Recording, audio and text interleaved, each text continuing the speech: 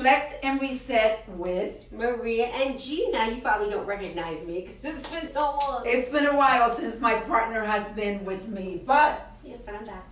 You're back. We're excited to have you. Yeah. It's a lot easier. I miss her, but when she misses a show, it's for a great reason because we're trying to run a business and we have a very serious mission here.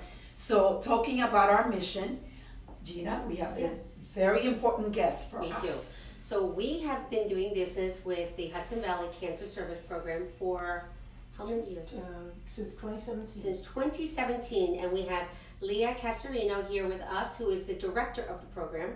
And we're going to give you a bunch of information about if you qualify, how you can get some services. But let's talk to Lea first and see how you got into this, and tell us a little bit about you first. Uh, well, uh, my background is in public health, and I have worked in this particular program for about seven years. And prior to that, I ran a program just like this in a different county, because there's programs like this in all the counties and serving all the counties in New York State. But when they opened this one up, I, I got this job. It's, and why don't you explain what is the Cancer sure. Services Program? So the Cancer Services Program is a state and federally funded program that provides free breast, cervical, and colorectal cancer screenings to people who are uninsured or underinsured. We also pay for uh, any diagnostic services. If those screenings should come back abnormal and they need to look at things a little further, then we will pay for those diagnostic like services. mammography. For example, yes. Okay given that it's Breast Cancer Awareness Month, yes. an example. Yes. so, um, so for uh, a mammogram, for example, you go for a screening mammogram. Sometimes they may see something they want to get a little better look at just to make sure everything's okay. So they'll have you come back for what they call a diagnostic mammogram or an ultrasound, and we'll pay for that. And we will pay for the services to lead up to a, a diagnosis to either rule in or rule out cancer. And if some, by chance a, a person is diagnosed with cancer, we have programs that they can be enrolled in that pay for their treatment or um, through a special Medicaid program or through emergency Medicaid, depending on their qualifications. And you help them through that process. Yes, we do that. Mm-hmm. Yeah. And so if you are somebody that doesn't have insurance or is under insured.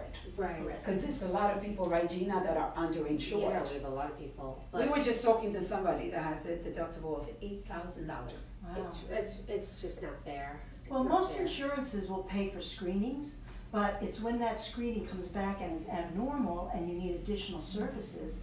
That's when they're, un- they're underinsured because that's when the out of pocket comes. And oftentimes the cancer services program can help with that. Yeah. And actually, I believe, if I'm not mistaken, we have sent, how many patients did we Oh, send? we have sent. Well, since I happen to have those statistics. Oh. so since 2017, you have sent us about 200 patients. Uh, 2017 was your first year, and then it like practically tripled in the second year. And we've had about uh, six people who were diagnosed either with wow. cancer or precancerous conditions that we caught early enough for them to get their treatment. So it's, it's a great program, and so many of your uh, participants in Formé, patients here, are participate in the program. You know, you get it early and you save a life. Yeah. You know, it's and um, I mean, this is you know, I was saying how we have a purpose. Uh, yeah. As a matter of fact, today I was listening to a, a video that I shared with uh, quite a few people, and the video talks about how important it is to understand your purpose in life and when you and many of us don't understand why we're here right? We ask that question. And the reason i'm talking about it is because knowing what you just said like gina and i i can tell you and i know you do i'm sure you feel the same way. Look at that you know over close to 200 people that we have sent. You have six people that you could potentially save their lives. Right it makes you feel so good. It's a very rewarding program, which is why I've been in it so long. And um, our staff is uh, very compassionate too to work with. They're you know very experienced in working with people in these situations because even if you don't have a cancer diagnosis, which is the vast majority of people don't, there's still you get something back. It's a little odd, you know. you're still a little uncomfortable, um, a little maybe a little nervous, And we have case managers um, who are called care coordinators who will work with those patients and help them overcome their anxiety and help to address any barriers they may have to getting the services that they need. So it's a full service program. So, um, I know that they recommend, I think, you know, a certain age to have these tests done. Mhm. So, is there a eligible? Do they have to be eligible Sure. by age? There's several eligibility requirements. Uh, first of all, for women, they have to be age 40 and older. And for men who participate on colorectal cancer screening, 50 and older. So, what what happens if it runs in the family then? Well, um, it really depends on um, their the history and things like that. Uh, but we do have services for women who are under the age of 40. Good. We do make exceptions when it comes to breast uh, services. Not we don't have serve that age group for cervical colorectal, but for breast, if uh, oftentimes we'll get a woman who will call up. She's under the age of 40. I was just taking a shower. I felt a lump in my breast. I need somebody to look at it. So they can go to one of our providers who work with us, just like Forme does, and the provider will do what's called a clinical breast exam, and they will feel for lumps or masses in the breast.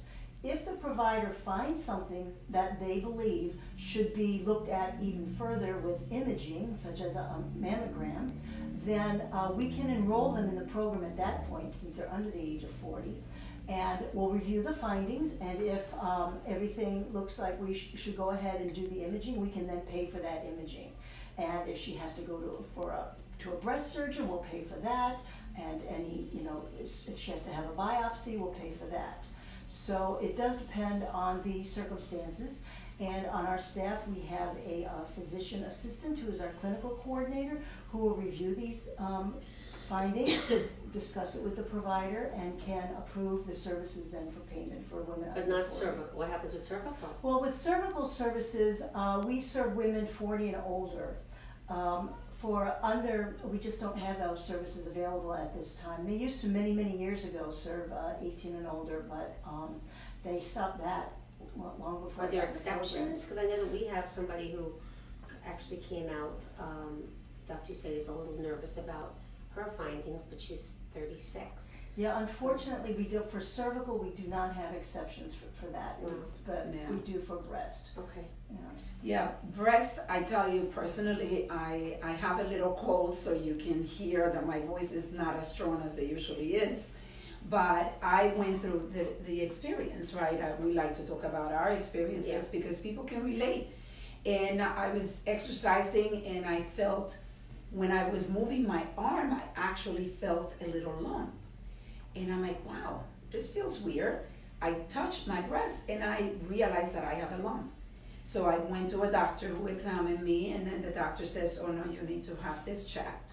I went and had a mammogram, and then they did a sonogram, and then I needed to have a biopsy. Remember, I went uh, for the biopsy, and it's scary, and you don't even want to scare your family because I know I actually Gina was the only one that knew, and my doctor, but I didn't want to tell anybody because I'm like everybody gets so afraid Yeah. when you hear you need a biopsy. And uh, it's scary. But to know that you have people like you and us you know we care for our patients we take care of them and we make sure we send them to the right place. And that's why you know we work with you because we know that you care. And we see that over and over again with the patients that we send to you. And um, so it's this community you know we want you to know that there is no excuse. You you need to have your mammogram. You know this is breast cancer awareness awareness month and there are so many people that get affected by this disease. And we can prevent you know from going to a level where there is no return. So it is very important to do preventive Absolutely. Sweetie. And one of the things I want to point out is that we are a public health program. So we look at the health of a whole community. And that includes uh, anybody in that community, whether they are um, a citizen or not, whether they're documented or not. That doesn't matter. They can still come to our program as long as they meet the criteria of the age. They must live in one of the six counties we serve, which I'll go over in a minute, and they're normally uninsured or underinsured. And if they meet that criteria, we want them to come to the program, get the screenings, all the screenings that they're eligible for. And by doing this, we help people who might not normally be able to afford, you know, out of pocket to pay for these services. We help them to get their services, get the peace of mind to know, okay, I'm good for this year, you know, or if there is a little something, we can find it early because what a mammogram does is really detect things a lot earlier than before you can feel it even and can you can address any problem early on and get it resolved. And by doing that, we raise the level of screening rates in an entire community where everybody is up to date with their cancer screenings. And when that's the case, you lower the number of people who get diagnosed with late stage cancer. Because the earlier uh, a situation is found, the easier it is to treat, the less invasive it is for the patient, and usually less expensive it is too. Yeah. And you know, we've realized that it's so important to have these tests that we created, you know, through our medical membership. You know, we're able to get our members uh, mammograms for a hundred dollars.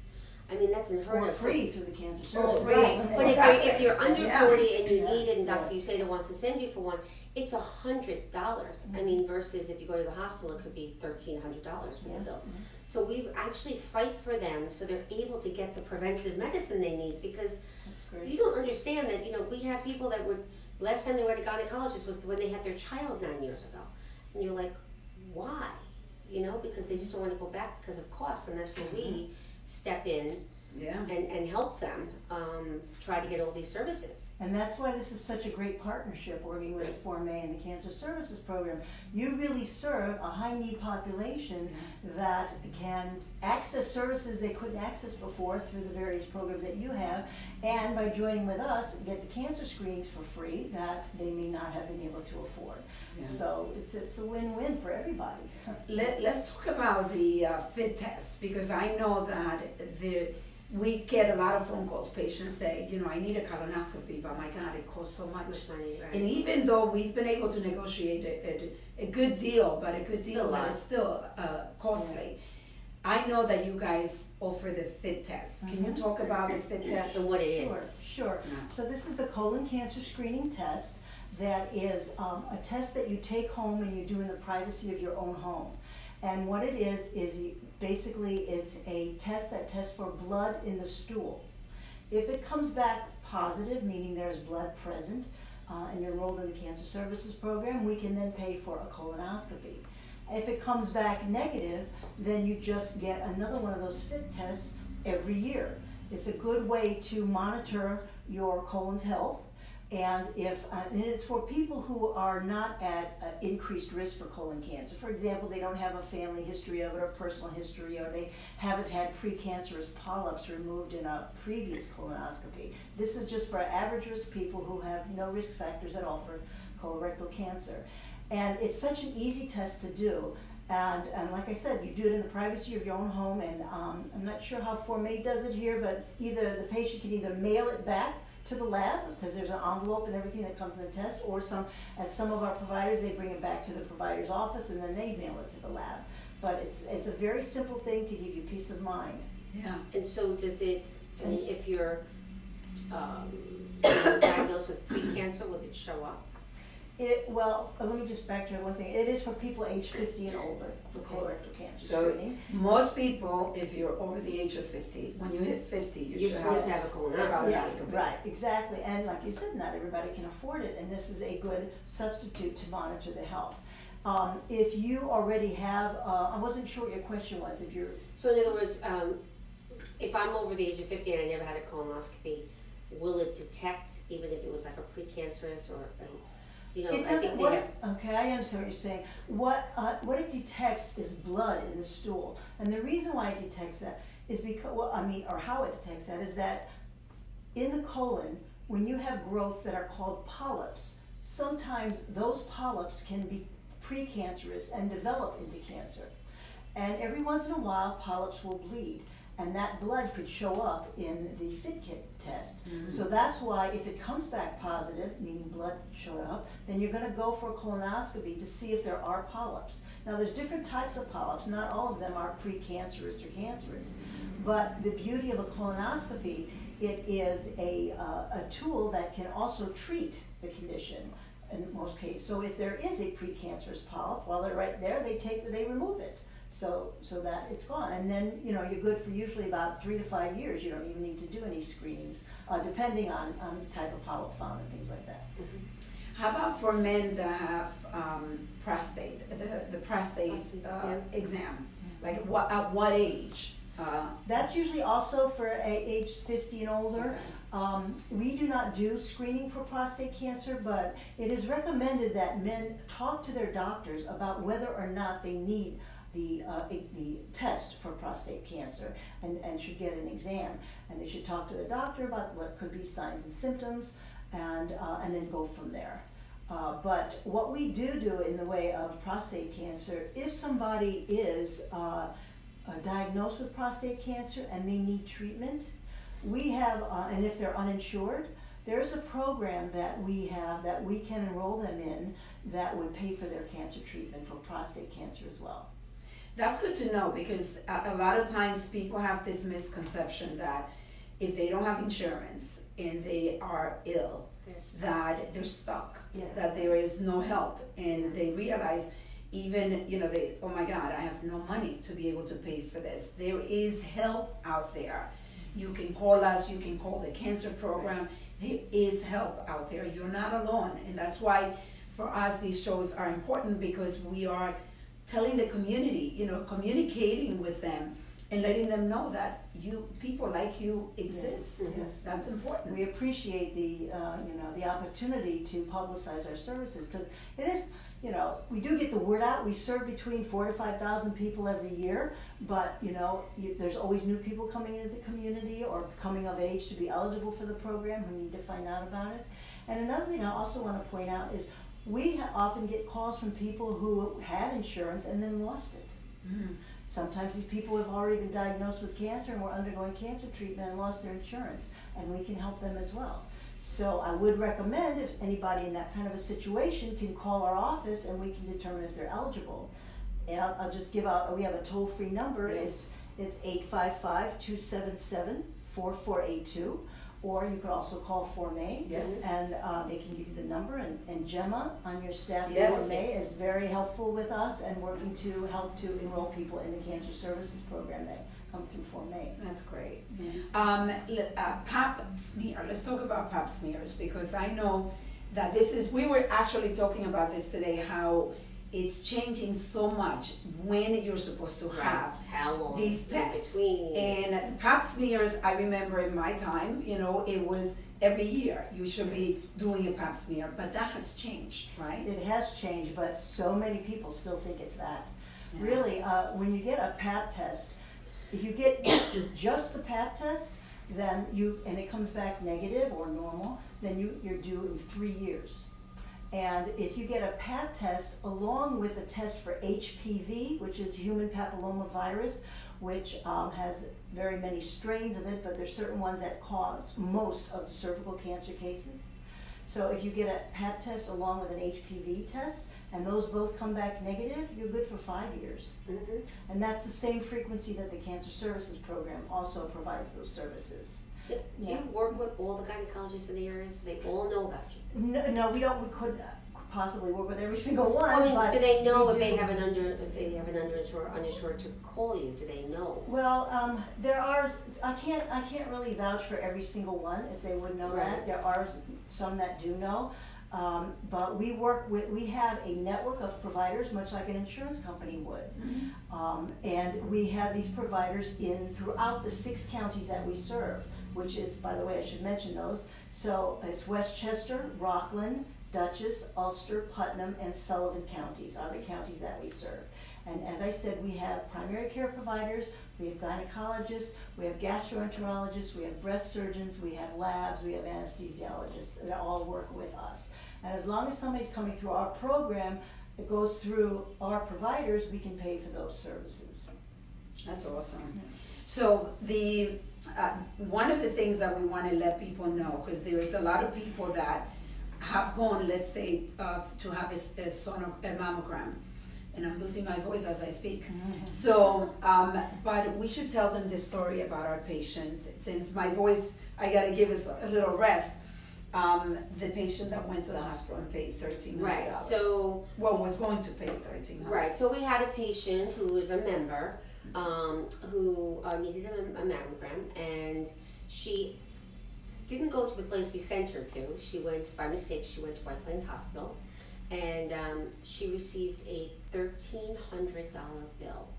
Now the problem with this, as we talk about, is if you're undocumented, they're afraid. They're afraid to go to collections. They're going to pay that bill, but they will never go back again And have a mammogram. and have a mammogram and have any preventative tests because they know that the bills are going to be too much and they can't afford it.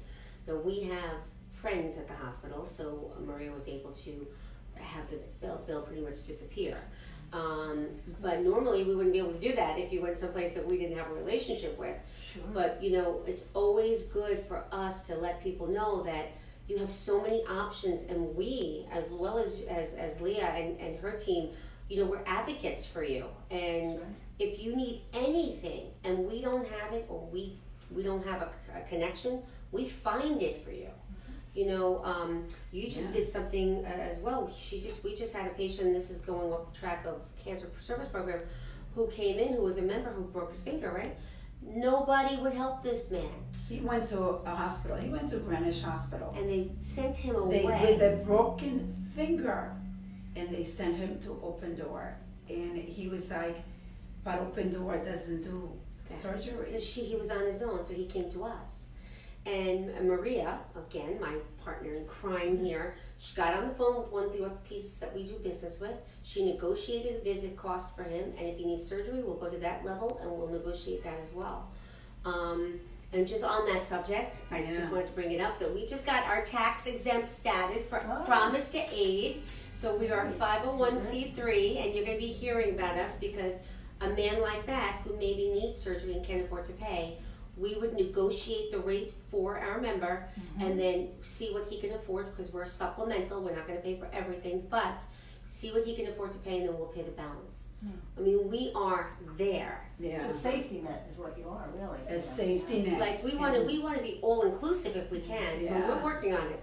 We're going to make that company a big, big company to be able to fund a lot of health care for people. That's wonderful, that's wonderful, inspiring. So for all the women out there, because it is breast cancer, Cancer awareness, awareness, month, um, we want to make sure. Please go get your mammogram done. Yes. Get touch your breast.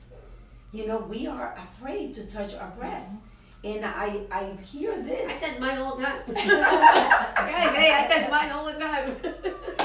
I love her authenticity. That's what we are.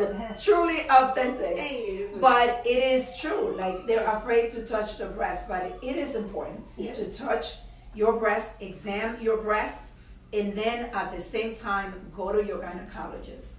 Have them give you a breast exam. Mm-hmm. Or What else? primary care doctors. Oh, primary care doctors. Yeah. And, and, you know, breast cancer is the second leading uh, type of cancer among women in New York State. It's so it's so important, um, especially now. You know, so many women are now aware of mammograms and breast cancer because of the breast cancer awareness. So we do see a lot of women, especially this time of year, going to get their uh, mammograms.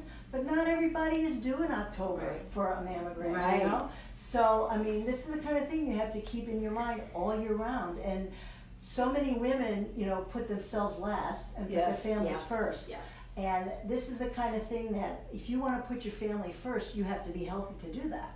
So taking care of your own health is really also taking care of your family's health in the end. Yeah.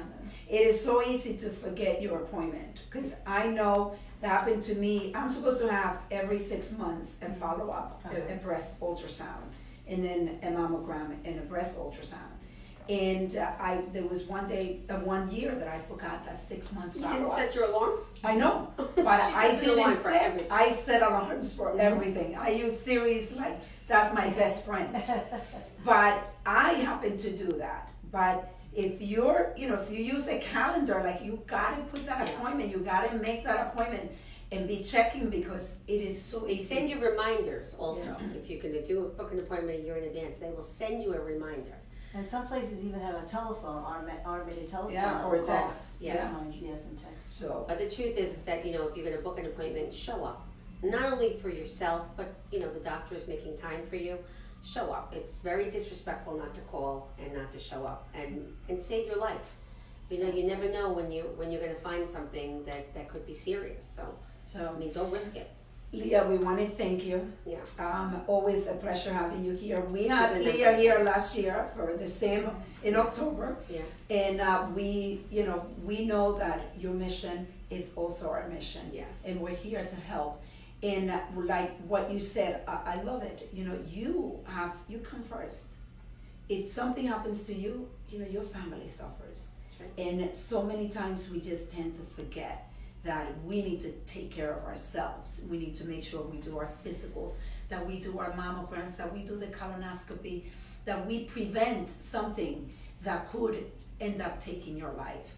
And then you affect your entire family. Right. So you are the important person in your family. So family. let Lea, if you can just say the number again for the. Sure, the, for the Cancer Services Program, it's 855 277 4482. Yeah. And we're open from 8:30 to 4:30, Monday through Friday. And I believe, and if we don't have it, I believe we have a link uh, On the to you website. on the website to you. Mhm. So people can go on our website too. What's our website? Oh, www.formemedicalcenter.com. Awesome. So we want to thank you Yes. for joining us. It's always a pleasure talking to you. Thank you so much for your support. And we want to say that if you like the show, make sure you like us. you like us. See Take care. Thank you, Lea. Thanks, Lea. Take care. you.